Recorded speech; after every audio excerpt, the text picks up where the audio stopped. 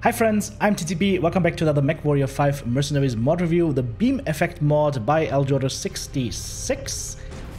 What this mod does is it adds a particle beam effect to your lasers and it adds a little bit of uh, glare, so to, to make them a little bit like more visible, more lasery feeling and uh, I will just shoot a couple of lasers to let you guys see what, how this looks like. This for example is an Atlas shooting medium pulse lasers and as you can see the color of the lasers has also been changed but you can also see the particle effect already when I'm shooting these bad boys. Looks beautiful. Switching over to something else, this Annihilator for example. No, actually, let's take the uh, PPCs. PPCs have not been changed that much. A little bit of lens flare, but everything else is still the same. Uh, if you go to the medium lasers, however, the large lasers and the small lasers, let's shoot them in a queue here. They've been changed.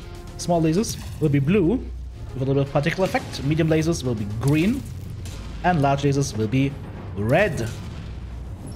And if I can find the large laser button, I can actually trigger them. Alright, once again, small, medium, and large.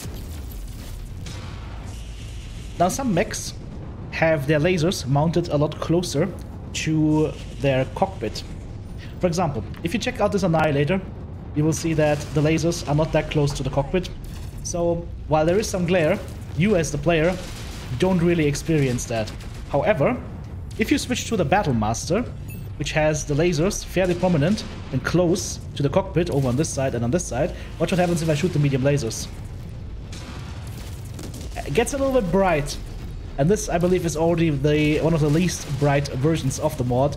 Um, I'm hoping that they will tune down the brightness a little bit more on this. However, if you're not running a Battle Master or any mod, uh, mech that has like super high mounted weapons like this Atlas, it's not an issue, and it looks it looks freaking cool.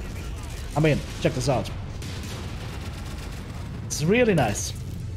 Makes for some really cool uh, visual effects, and I enjoy that a lot. So guys, what do you think of this mod? Let me know in the comments uh, down below if there is a mod that you feel that I should review. Also, tell me about it. If you want to help me out, guys, check out the various links in the video description below on how to help a brother out. Other than that, enjoy the game, enjoy the mods, have fun. I'll see you next time.